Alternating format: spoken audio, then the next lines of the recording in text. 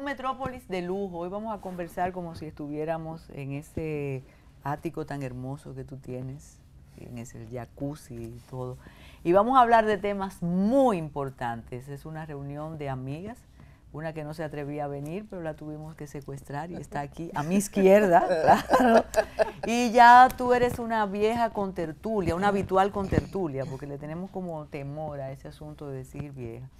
Y al parecer, la señora Castellanos Curi, cuando vino la primera vez y la segunda, hizo su trabajo muy bien, porque estos muchachos tan cerreros e incorrectos entienden ya de qué se trata tu, tu meta, tu, tu obsesión positiva. Ana María Pellerano, una educadora de años con experiencia, con decisión y con prueba de lo que ha hecho. Yo me imagino que cuando tú ves esas familias, Ana María, y esos muchachos, tú te debes sentir muy orgullosa. Eso es como una especie de patrimonio ambulante, ¿verdad? Más o menos. Y hoy vamos a hablar de nuevo de familias monoparentales, pero vamos a extender el tema. Vamos a tratar de que ustedes desde ahí, desde la comodidad de su casa, sepan que nombrar permite ver diferente las cosas. Tantos hombres que deben estar con sus muchachos a esta hora, eh, bueno, esperando que la leche esté lista para dársela, y por viudez, por separación, por divorcio, porque la mujer puede estar viviendo fuera, igual que tantas mujeres que pueden tener sus tres muchachos, dicen que va a ser eh, de mí. La primera vez que estuvo Jacqueline aquí, Ana María, y voy a buscar tu complicidad, yo le decía, pero eso es ser madre soltero o padre soltero. Pero ella explicó ahí, esta onda de familias monoparentales, ¿a dónde nos va a llevar? A que se sientan mejor esas familias. Bienvenidas de nuevo. Gracias. Bueno, realmente eh, es como cuando se tienen los secretos a voces, que todo el mundo lo sabe, pero no se, no se socializa, no se expone y sobre todo nosotros sentimos que es un espacio que está muy vacío, o sea, muy vacío en términos de, seguimiento, de acompañamiento. Eh, a veces el mismo hecho de tomar una decisión de un divorcio eh, necesita un acompañamiento, necesita un proceso de mediación. Eh, ya bueno, cuando toca que simplemente salí embarazada o la persona queda viuda. Hay, hay cosas que, se, que pasan, que suceden en la vida que nosotros no podemos controlar.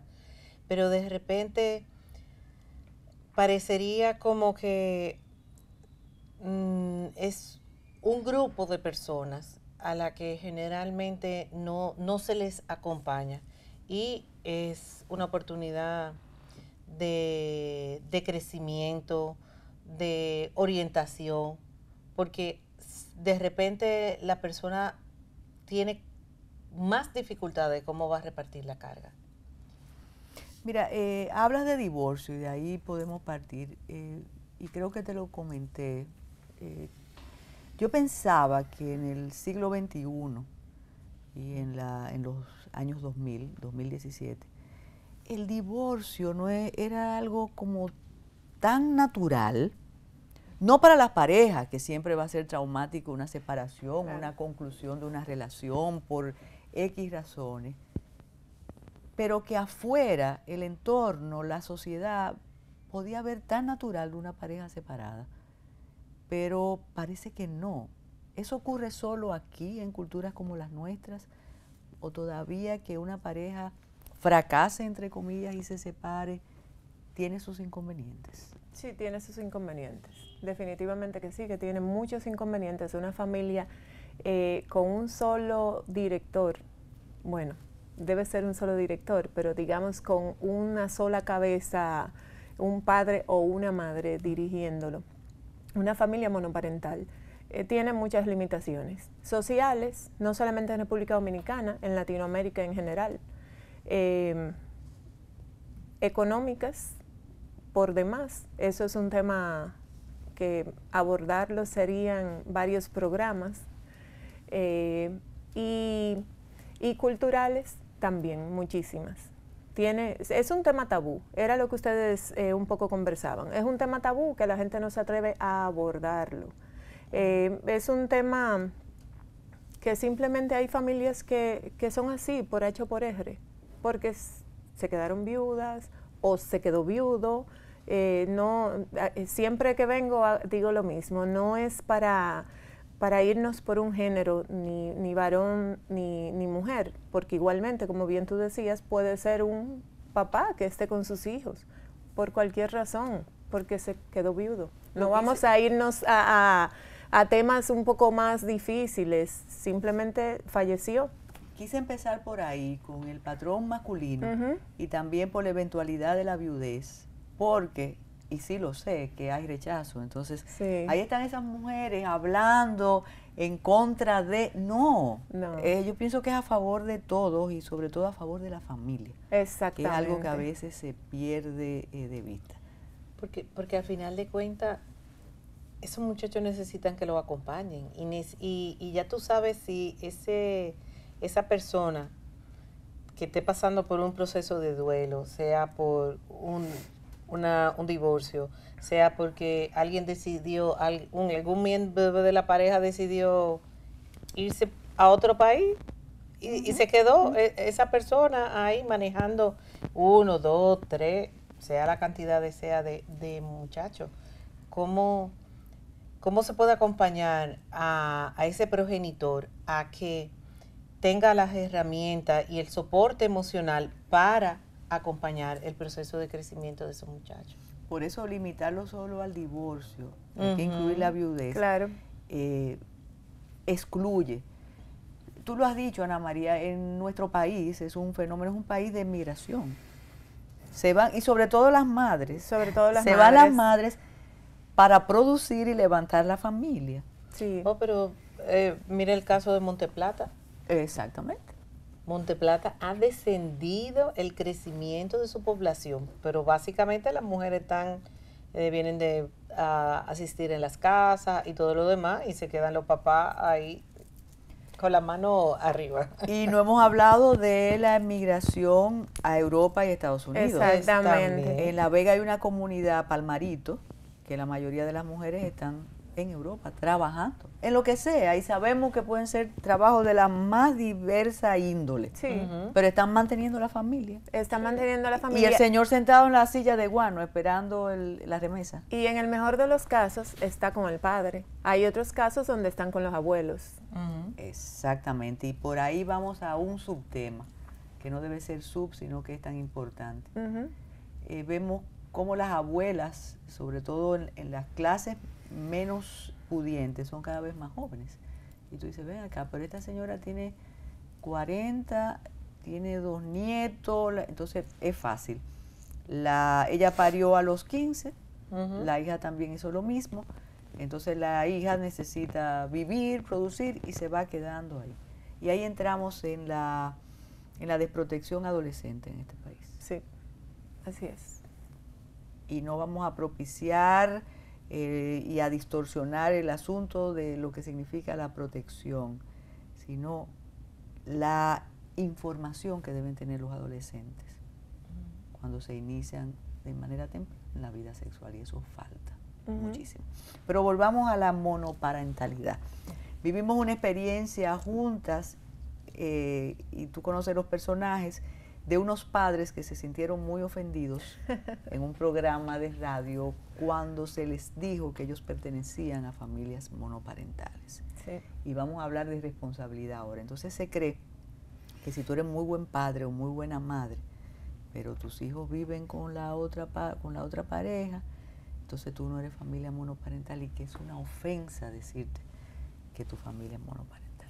¿Cómo, maneja, cómo manejan eso ustedes? ¿Cómo los manejamos? ¿Cómo lo podemos manejar? Bueno, inicialmente, y volviendo a repetir lo mismo, con esas, con esas dos, con esos dos padres, sí son familias monoparentales. Porque ellos no viven, no conviven con sus hijos. Yo los aprecio muchísimo a ellos dos, pero la verdad es que no tiene nada de malo ser una familia monoparental, siempre y cuando usted haga lo que tiene que hacer, lo que le toca en su rol de padre o de madre. En el caso de ellos, ellos lo cumplen con demasía y ellos son, lástima que ellos no se animen a, participar con nosotros como ejemplo para otros padres. Claro. Que, que son ejemplos a seguir ellos. Pero sí, ellos son familias monoparentales. La verdad es esa. ¿Se puede separado cada uno de los padres, padre y madre, ser buenos, pero entre ellos no existe ninguna relación y que los hijos se den cuenta de eso? ¿Viviendo bajo el mismo techo? No, No, separado. Ah. separado. O sea, yo puedo ser excelente madre y él puede ser excelente padre, pero nos llevamos como perro y gato. O no nos llevamos. Eso influye en la crianza. Sí, claro. claro que sí. Claro que sí. Eh, es lo más, lo más difícil en es, lo que se, tal vez puede ser el, el reto mayor eh, con respecto a este tema es cuando se toma la decisión de un divorcio, es que es la pareja la que se disuelve, pero el rol de papá no se disuelve. Y hay decisiones, eh, hay que cambiar a los muchachos de colegio. Bueno, es una decisión que se debería tomar en, en, en conjunto. Yo viví una, tuve la experiencia una vez que yo estaba de viaje y mis dos hijas menores estaban en casa de su papá y todos los días llamaban del colegio a la psicóloga porque quería hablar conmigo y yo le decía, pero cuando llegué le digo, no le dijiste que yo estaba de viaje, ¿por qué no llamó a su papá? Y cuando hablo con la señora me dice, no, es que esos son temas de la mamá. Digo yo, ¿qué? Tú te como... Entonces yo cogí y llamé a su papá y le dije, mira, a mí me dijeron esto, esto y esto, así que montate en el carro y jala para el colegio para que ella sepa que esto es tema de, edad, de Ambos padres. de ambos a dos.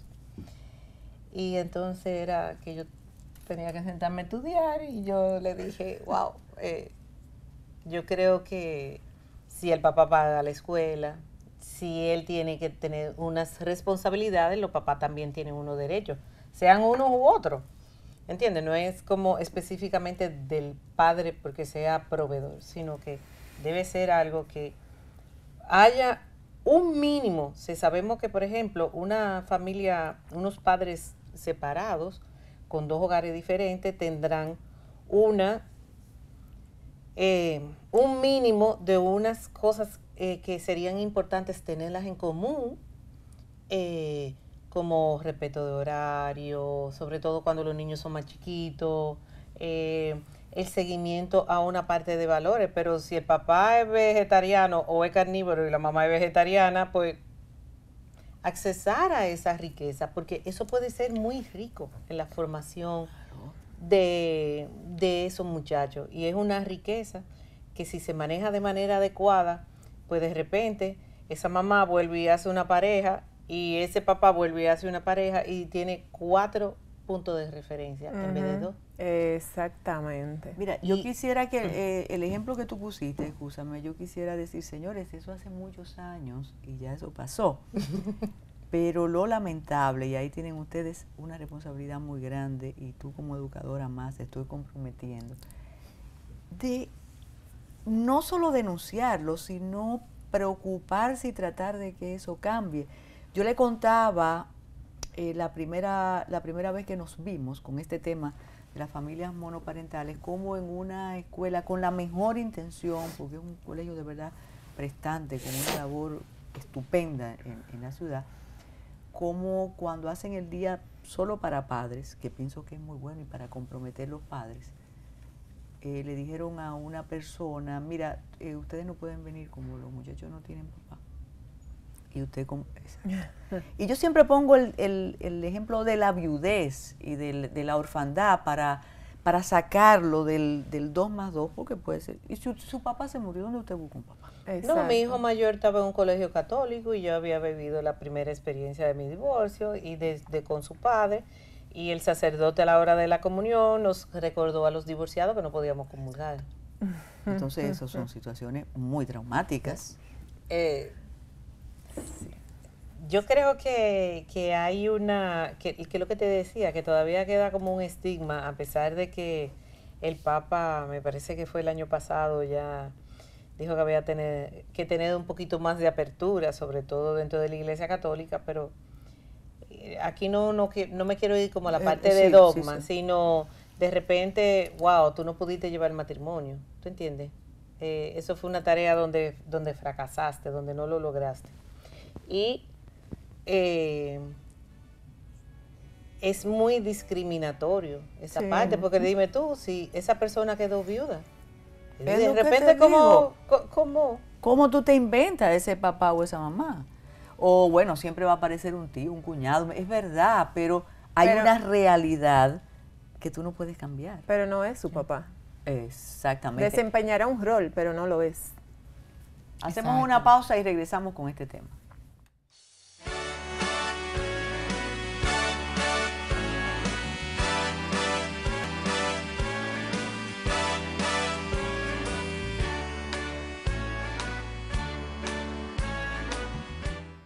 Entonces uno hablando, eh, a veces los más científicos, cientistas sociales, y tú tienes experiencia, le gusta que hablen con, con pruebas y que no, la casuística no, pero la casuística es importante. Y relatar esos casos que hemos relatado, eh, te dice cómo va el asunto. Y si hacemos la estadística, eso va a pasar. Entonces, la escuela a veces, en lugar de contribuir para la estabilidad, de esas familias diferentes no ayudan. Volvamos a ese ejemplo que me encantó, Ana María, cuando tú hablas que es una posibilidad de riqueza tener dos familias y muy diferentes quizás. Porque cuando están juntos en la casa se hace ese pacto, las costumbres de uno y de otro. Eh, en sentido general, lo que yo te Se le dice a los muchachos, o eso se vive se le dice eh, como... Ah, no, allá donde tu papá se come de esa manera. Y aquí, o eso fluye y se bueno, sabe... de repente, de repente hay veces que si las personas no logran ponerse de acuerdo, de repente hay como que llamar a, ese, a esa tensión. Eh, que podría pasar, por ejemplo, en casa de los abuelos.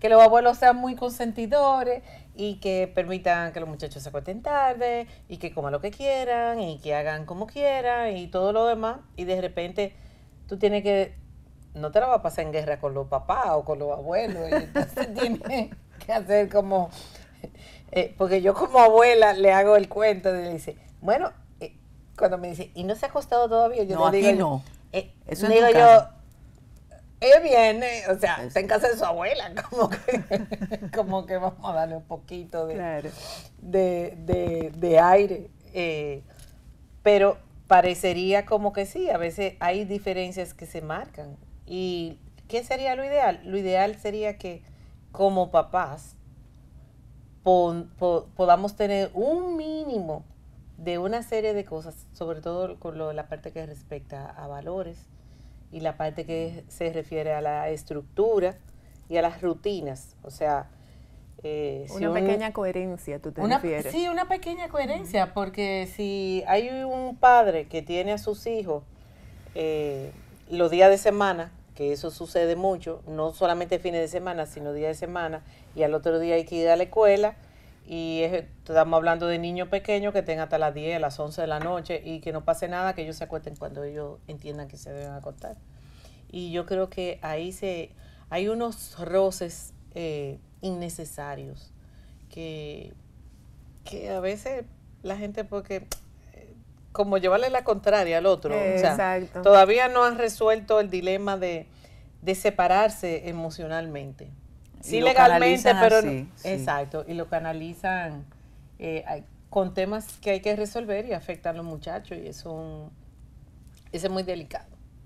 Eh, quedan 16 preguntas ahí, pero volvamos a la familia monoparental y a esa resistencia a admitirlo. ¿Qué te ha pasado a ti con ese movimiento de, de familia monoparental y de decirlo? Es decir, vamos al auditorio de la Universidad Nacional Pedro Enrique Dureña a hablar como familias monoparentales. ¿Hay resistencia? ¿Eh, ¿Todavía hay prejuicio con eso? Sí, hay, eh, como te decía hace un rato, sí hay mucho prejuicio. Es un tema tabú. En muchas escuelas eh, todavía el tú decir que tus hijos son hijos de padres divorciados es un tema. Es un tema que nos falta mucha educación, falta eh, mucho desarrollo cultural en, este país intelectual.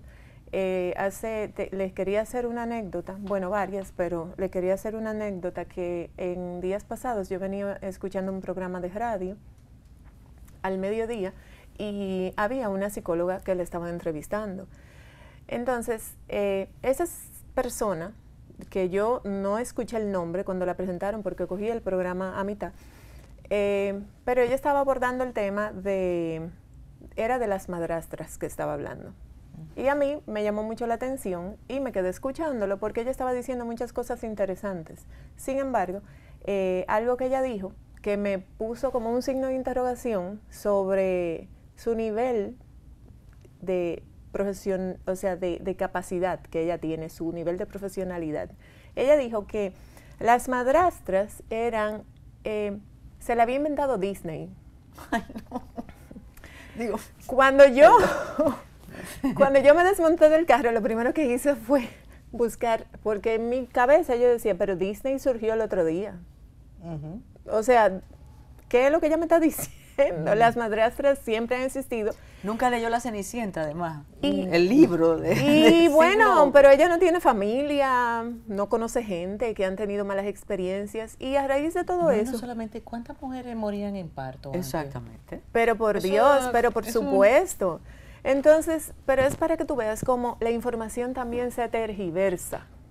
Porque yo te estoy hablando de una profesional que estaba en un programa de radio. Pero puede haber otra lectura que no es, no es eh, agradable tampoco, o también que es idealizar a la otra persona.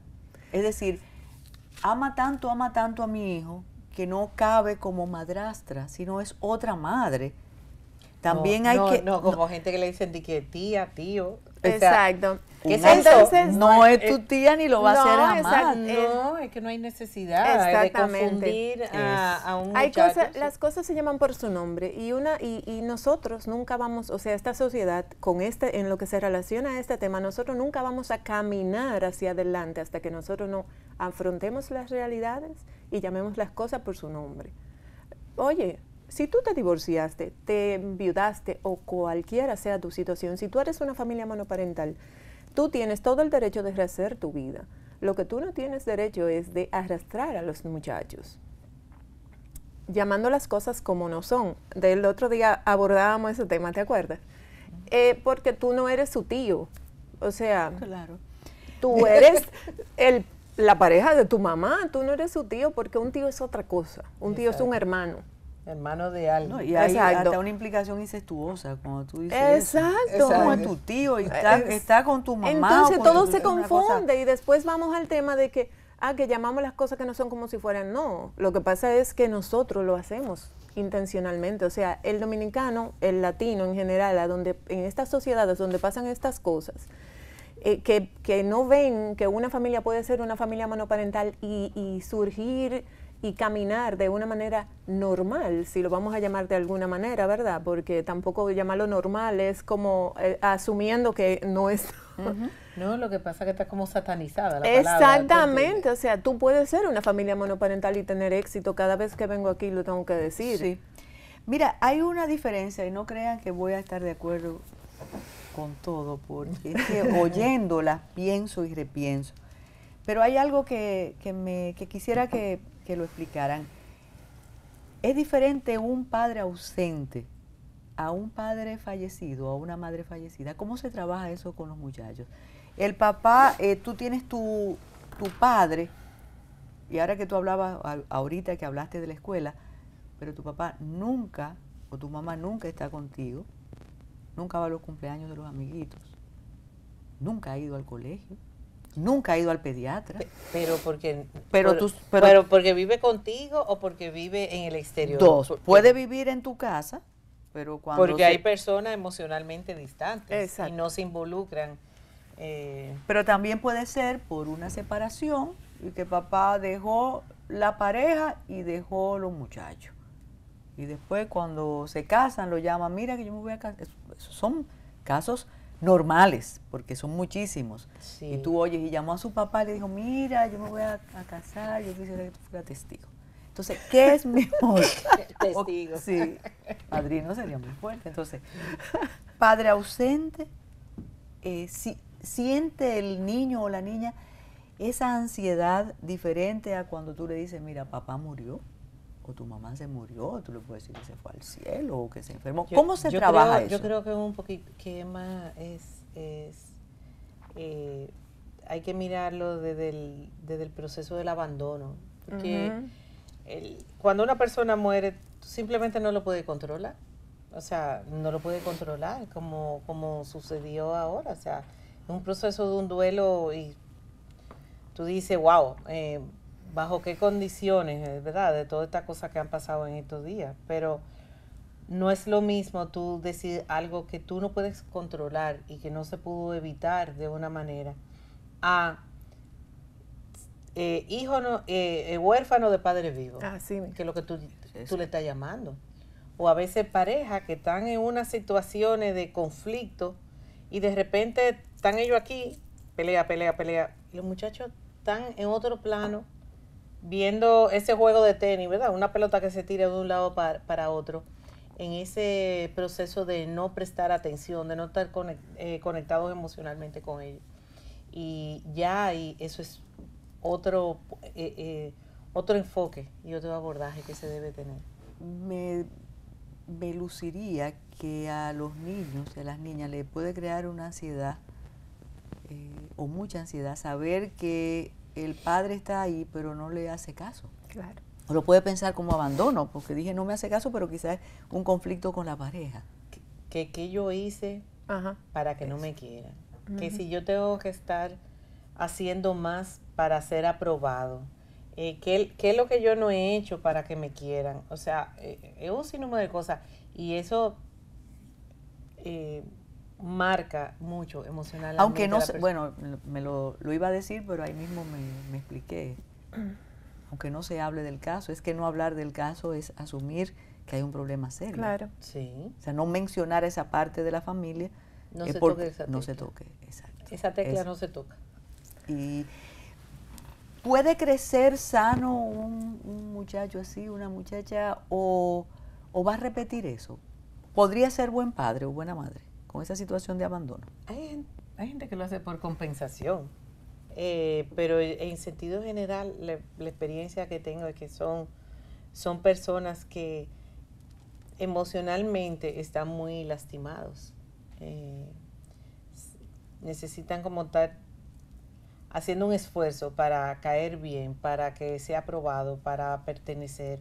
Porque es que si tú no tienes del padre y la madre, con la madre, o sea, un ser humano acabado de nacer aprende a confiar en el mundo a través de la mamá. Es su, su fuente de, de, afecto, de modelo de, seguridad, de cuido.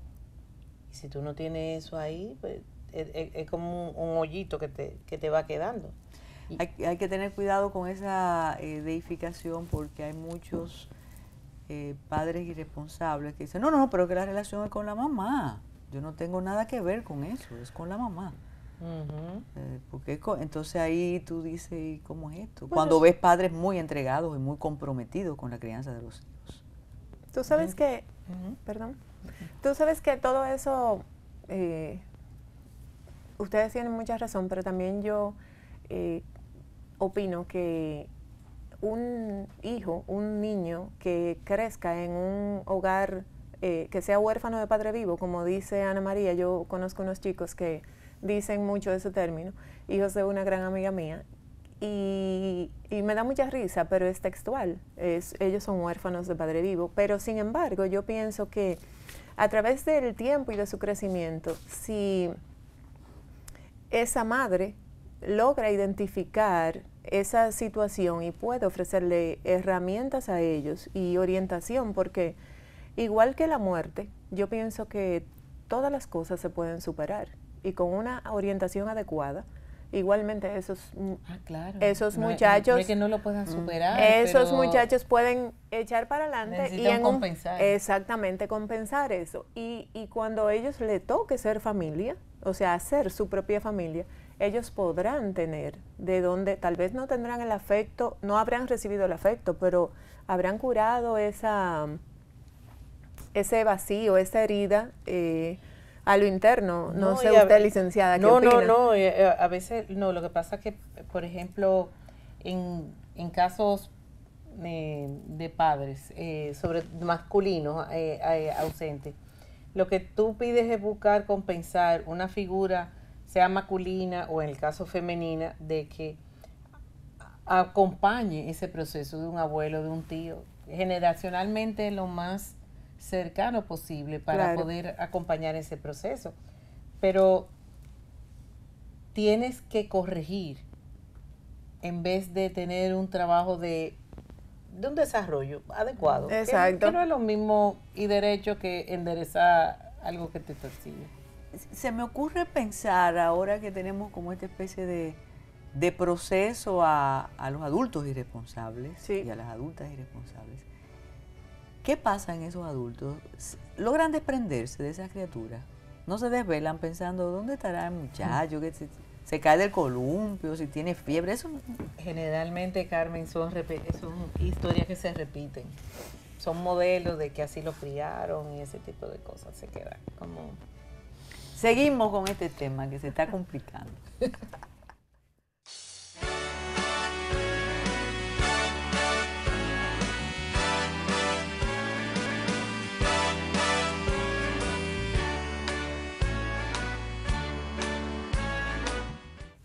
Qué bueno, qué bueno que, porque al principio, tú sabes, hubo por el asunto del gas, que el gas también es peligroso y, se incendia y todo eso. Pero decía que si existe un lugar o vamos a crear un lugar donde podamos ir a hablar de estos temas, sobre todo parejas jóvenes, eh, y como tú decías, para saber que no está tan sola esa persona o ese, bueno, esa persona, hombre o mujer. Se van a crear esos espacios eh, públicos, masivos. Bueno, masivo sería eh, casi una ultrella. Exacto. no, bueno, la, idea es crear eh, tanto a nivel de las redes como a nivel de encuentros donde se pueda socializar esa parte de de vínculos para eh, fortalecer y optimizar y brindar herramientas con respecto a el manejo de y el apoyo a esas familias. ¿Cómo vamos a incluir la escuela en esta problemática? ¿Cómo ah, parece que eso está en el proyecto. ¿Cómo vamos a decirle a maestros y a maestras? Bueno, enseñar la prudencia es muy difícil. Tú puedes aprender psicología y pedagogía, pero enseñar la prudencia y eso sale. Ay, pobrecito, que como su papá no mm. está aquí. ¿Cómo le decimos que no hagan eso, por favor? Yo creo que ahí básicamente eh, hay, un, hay un tema de, de trabajar en mirar que esa... porque hay que hacer esa diferenciación, Carmen?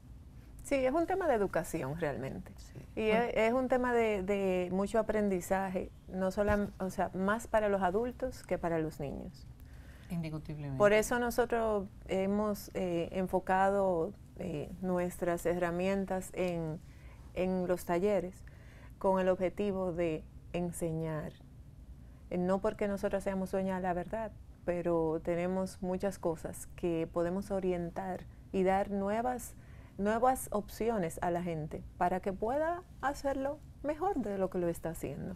¿Ustedes tienen alguna, alguna dirección electrónica, una página web donde se pueda acceder?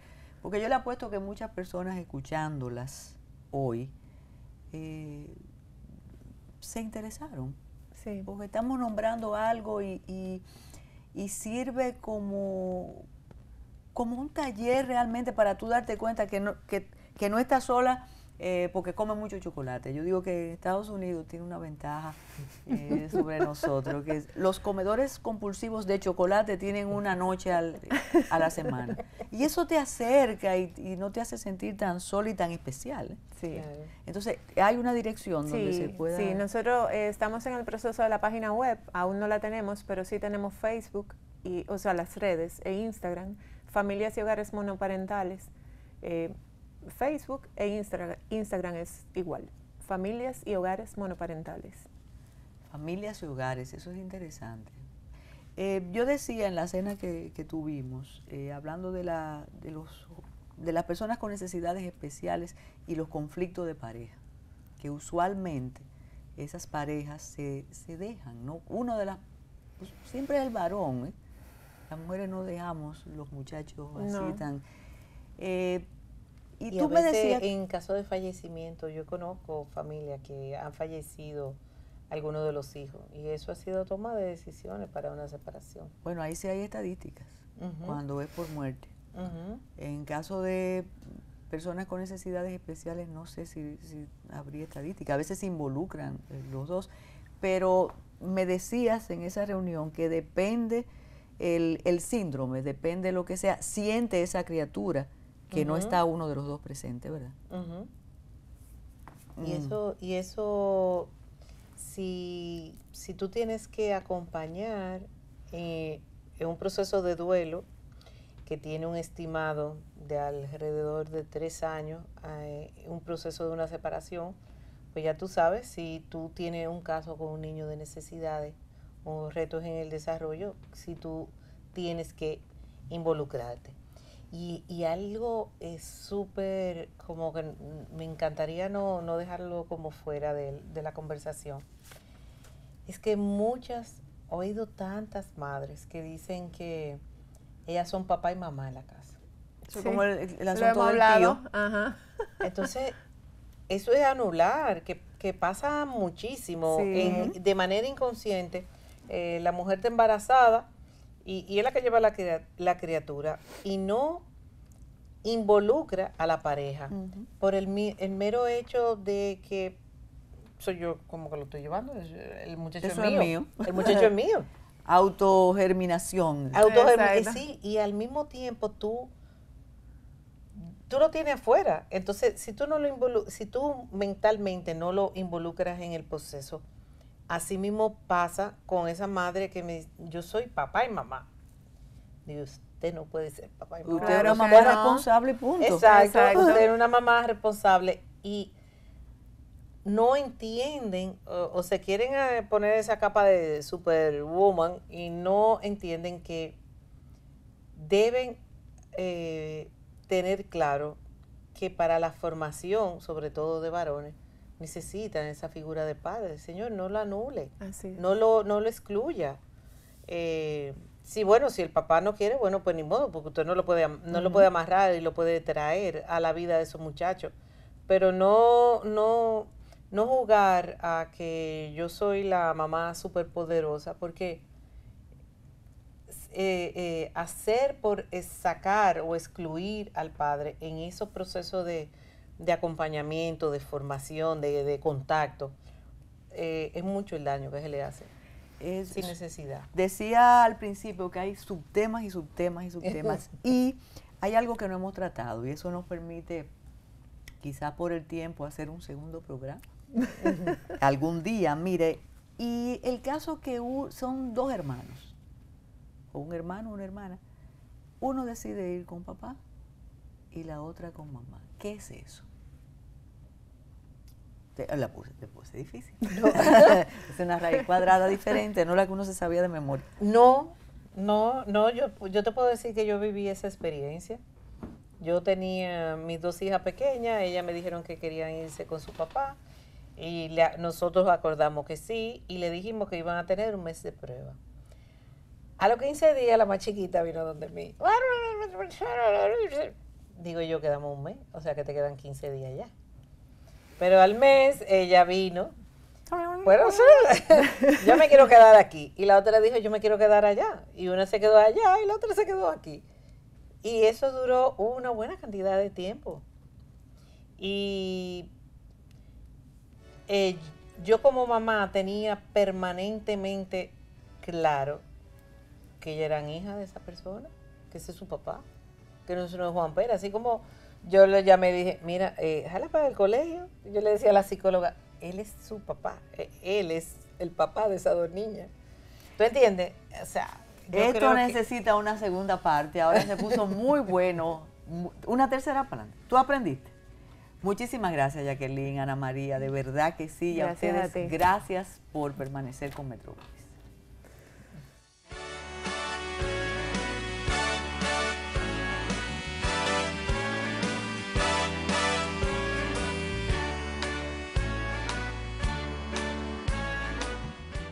Ese, hay gestos, gestos de ausencia, e indicios que tú dices, sí, hace falta o no hace falta. Pero yo les dije que no iba a ser tan amable con ustedes. ¿Por qué complicar esto tanto? ¿Cuál es la complicación? ¿Por qué nombrar si la familia dominicana desde su fundación está formada por una madre, diez tías, cuatro abuelas y en ocasiones por un padre, iba a decir tres tíos, cuatro abuelos, pero usualmente así. ¿Por qué? Y ahí vuelvo a la pregunta o la reflexión que no me respondiste. ¿Por qué ese rechazo de, sobre todo de tantas mujeres, asumir si yo estoy, yo estoy dirigiendo una familia monoparental? Que la están dirigiendo y están asumiendo en muchos casos hasta las cargas económicas. Sí, claro. Pero no, como que no quieren, quieren aparentar, como el caso de esa maravillosa especialista que dijo que las, las madrastras eran un invento, que todo está bien, todo está feliz, que no me nombren, no me, no me tienen que decir eh, lo que yo tengo y que lo que yo tengo es un problema. ¿Por qué tenemos que tener esta... bueno, yo creo como que la idea no ha sido como, como que hay un problema. Yo creo que así mismo como tú vas a un gimnasio porque tú tienes que rebajar, yo, es como una analogía que hago mucho. A veces tú puedes porque, porque lo necesitas, eh, en términos de que tú tienes que ponerte un programa de rebajar y hacer como todo un, una estructura para, para mejorar la salud. Pero a veces tú puedes estar en salud y, y, estar yendo al gimnasio, que generalmente la gente que está en salud son los que más van al gimnasio que lo que está... Así es. Sí. O sea, eh, entonces, si tú puedes eh, tener herramientas que te ayuden a mejorar lo que tú estás haciendo, ¿y por qué no? Pues yo tengo muchos años trabajando con papá y nosotros ah, muchas veces los papás al principio, en el año 93, decían, pero a mí, a mí nadie me enseñó a ser papá. O sea, eh, eso no se enseña. O sea, como simplemente hay un patrón, ya me enseñaron, yo viví y crecí de una manera, ¿por qué lo, por qué, por qué lo voy a hacer de una manera diferente? Si yo estoy bien, yo no me volví loco, a mí me dio un correazo, chancletazo, tú sabes que... Sí en el programa hacía mucha, mucha gente había, hacía ese tipo de comentarios. Pero si, si la sociedad ha cambiado, si hay más herramientas, si nosotros podemos aprender a manejar a, a nuestros hijos, podemos tener apoyos emocionales, porque ¿Por qué no lo usamos? no lo usamos? Mira, en relación a lo que tú preguntabas, lo que pasa es que la sociedad, te, hay, hay veces que la sociedad te absorbe. Eh, en esos casos eh, me refiero al ejemplo que tú pusiste de que hay mujeres, refiriéndonos a mujeres específicamente, que es el caso más común, eh, porque hay más, un porcentaje mayor de mujeres que dirigen hogares monoparentales que no quieren que es, la gente le, le hable de que son divorciadas o cualquier... Yo pienso que en primer lugar son mujeres eh, que deben buscar asistencia porque hay una realidad que tienen que asumir. Eh, como yo te dije ahorita, las realidades se asumen, las cosas se nombran, se llaman por su nombre y yo pienso que esa es la mejor manera de, seguir caminando. Eh, y, y, de ser, de, de ayudar a esta sociedad a que podamos ser un poco diferentes en ese tema. las madres y los padres que estamos dirigiendo hogares monoparentales tenemos que tener ojo de águila, eh, mucho ojo visor con nuestros hijos. Hay cosas que en un hogar donde están papá y mamá, lo que no te das cuenta tú me puedo dar cuenta yo. Pero si yo estoy sola o solo dirigiendo a este hogar, que tengo toda la carga de la educación, de, de la casa, de a nivel profesional, laboral y el seguimiento a los muchachos, eh, hay cosas que se te escapan. Entonces, en ese sentido, uno tiene que, tener mucho, mucho ojo visor con ellos y estar muy pendiente. En algo que yo escribí una vez, yo, yo hacía un paralelo y yo decía, las personas que estamos dirigiendo hogares monoparentales tenemos que negarnos a nosotras mismas. ¿Por qué? Porque muchas veces, y volviendo un poco a lo que hablábamos ahorita, eh, los problemas, los conflictos que yo tengo con mi expareja, con el papá de, los hijos, uno lo traspola a, a ellos. Entonces tu papá esto, o yo quiero, necesito unos tenis, mami, porque esto, dile a tu papá.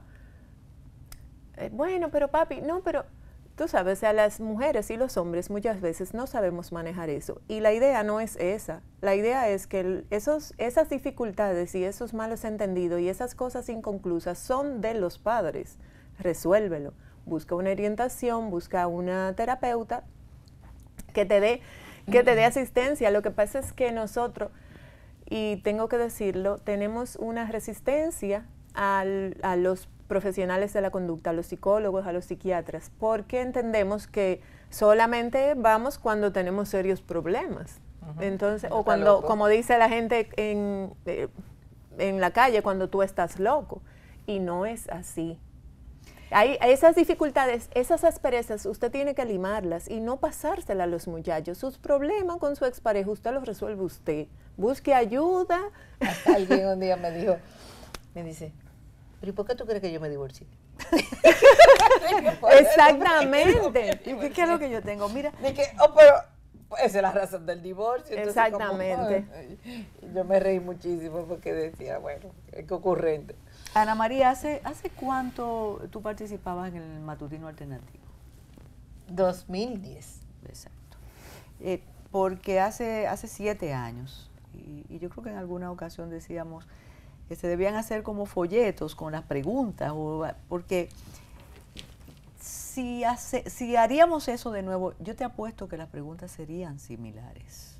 Y eso a mí me llama la atención con la modernidad, en siete años hay una modernidad y hay unos medios de comunicación extraordinarios y diferentes. Y también, y ahí sí voy a ser cómplice de ustedes, una especie de negación. Entonces ese mundo maravilloso de que yo crío mis hijos, sobre todo cuando son más de uno y no importa, llega el momento, y por ahí que viene la Semana Santa, que los mismos padres y madres, ese grupo de amigos, amigos de la pareja, y ahí es donde uno siente lo que es la discriminación, no solo por la opción sexual, por el color, por la religión. Y tú ves que dejan de llamarte, de decirte algo en el grupito de WhatsApp. Esas mismas muchachas jóvenes de 30 y algo que viven felices, porque tú no vas al paseo con el grupo en Semana Santa, porque tú eres una mujer sola, joven, buena moza, además los muchachitos están muy bien criados. Y son, entonces, tú no vas a eso, ¿no? O si van de viaje, no, allá, tú sabes, ya está sola. Me imagino que con los padres pasa igual. Eso es un poco cruel, ¿eh? bastante cruel. Entonces, por eso yo creo que sí hay que ir a las actividades de ustedes y darse cuenta que no es una situación igual a las demás. Es que en sentido general estamos criados bajo una cultura que las diferencias nos separan y no logramos encontrar cuáles son las cosas en común. Si tú eres, eh, tienes retos en el desarrollo, ya eso se va sacando. Si está más quemadito y aquí está más blanquito, ya se va sacando. Si eres más gordito, más flaco. Eso es un haitiano. si tu mamá no es muy bonita, eso es así. Sí, eso es así. Y criamos generaciones así. Es más, hace 50 años, sin la corrección y los parámetros de inclusión que existen ahora. Quizás nuestros abuelos y nuestros padres nos criaron con menos rechazo que lo que se crían ahora y me parece una paradoja. Ahora que tú mencionaste color, se menciona clase, no, fulanito no, porque se va a tal plaza, porque yo lo he oído con los más jóvenes que uno conoce, ese es de plaza tal y el otro es de plaza cual. Entonces ahí no se pueden juntar, ¿entiendes? Entonces todo... Indiscutiblemente que, la sociedad ha estado estratificada eh, por los siglos de los siglos y eso ha sido como parte de, nuestra humanidad. Eh, pero yo creo que el, el momento que se vive ahora es o hacia donde deberíamos orientarnos es hacia eh, buscar los puntos que nos hacen comunes, en que somos, somos humanos, en que tenemos necesidades, en que eh, darnos el apoyo, eh, familias es, ese tipo de familia necesita un poquito más de apoyo. Si yo como, como padre, eh, tal vez no tengo todas las herramientas para manejar a, a mis hijos, por las razones que sea, imagínate tú si yo me veo además manejándolo yo solo, que no tengo alguien con quien llevo el hombro y, y voy llevando una carga, o sea, se hace muchísimo más difícil. El, volvamos a los niños y a la, al primer, al reto anterior, cuando yo decía, ¿por qué nombrar si eso es lo más eh, común? Y pienso también en los muchachos adoptados. Me decía una madre de, un, de su hijo adoptado que ella no pensaba decirle jamás porque el, el niño no preguntaba. Y a veces en esos silencios está la realidad. Entonces, en el caso de las familias monoparentales, cuando te escuchaba decir, bueno, pero que se lo diga al papá, cuando, no que no la menciones, no lo menciones, no menciones la situación como algo que exponíamos anteriormente, sino que sea lo que hay, punto. Y vamos a la escuela juntos, tú y yo, y vamos a todo. Y lo otro es una eventualidad, y si papá llama, qué maravilla, pero no estar mencionando eso constantemente. O hay que decirle, sí, aquí hay un problema, esta familia es distinta. Mira, yo te puedo decir, eh, y ya aquí te voy a hablar un poco por mi experiencia. Eh, obviamente yo soy familia monoparental y con mis hijos mayores, una de las cosas que a mí me ayudó mucho fue que tanto las dos profesionales que estaban conmigo, bueno, ella y otra. Ah, de ahí viene la complicidad. Sí. Parecería que no, pero Pero sí. Pero sí. Me, me, enseñaron algo muy importante y era que mis hijos tenían que saber lo que había. O sea, si papá no está porque papá vive en otro país, papá vive en otro país y él no siempre va a estar, no siempre va a llamar. Por, en ese momento era por esa razón, pero puede ser por otra. O sea, enseñarle a los hijos. Y eso es una responsabilidad de nosotras las madres. Por eso yo decía ahorita, uno tiene que estar con ojo visor y uno tiene que dejar de, de, de tratar de hacer lo que, lo que tú quieres hacer. Porque muchas veces a mí me dieron deseo de decirle a mis hijos esto o aquello, pero eso no es problema de ellos. Eso es algo que pasó entre papá y mamá. no tiene que ver con los hijos. Exacto. Entiende, las frustraciones tuyas no tienes, tú tienes la responsabilidad de no pasársela a ellos y de enseñarle a ellos cuál es la realidad. Y ese hecho de enseñarle a los hijos cuál es su realidad y enseñar a vivir, a vivir con ellos. No es tan malo aprender a vivir con la realidad, porque eso es lo que hay, no hay de otra. No, y hemos, eso ayudó mucho a mis hijos, ya son adultos, y eso fue la piedra angular para que esos muchachos pudieran caminar sin mayores tropiezos. Decía que hemos obviado también el caso, como mencionaba, la ansiedad por el padre ausente que cuando le hablas mucho del caso o le, le demonizas al padre ausente o a la madre, por una, una reacción muy humana, van a querer ver a ese padre o a esa madre. Por bueno o por mala, ¿quién será esa persona? Y lo buscan, y eso está en la literatura, pero está en el vecino también. Sí, sí. Es que es, eh, por el simple hecho de no estar, se idealiza esa figura. Y generalmente el padre que no está a cargo de los hijos, eh, generalmente vive la experiencia de lo que se llama Papá Noel. Exactamente. Entonces, compra regalos, busca no sé qué. Él, si él quiere ir a comer pizza, pero le quema, mal, no importa, le, lo resolvemos después. en el carro y todo eso. Vamos a complacerlo, vamos a complacerlo. Porque emocionalmente no está atado o en la vinculación de todos los días. Y también esos papás, muchas veces también el que no está sufre esa, esa, esa ausencia de, esos muchachos, de, esa, de esos hijos. Y lo que hay es que buscar estrategia. Exactamente. Porque un padre, por ejemplo, puede, hay que ir a la escuela todos los días, bueno, uno coge el turno de la mañana y otro coge el turno del mediodía. Y ya todos los días hay un nivel de contacto. Cuando regresemos, ustedes nos van a decir dónde pueden ir tantos padres y tantas madres que nos están viendo ahora a conversar de estos temas, como una especie de, como de salón de tarea. Por la tarde, hablar de estas, de estas situaciones. Vamos a hacer una pausa y regresamos.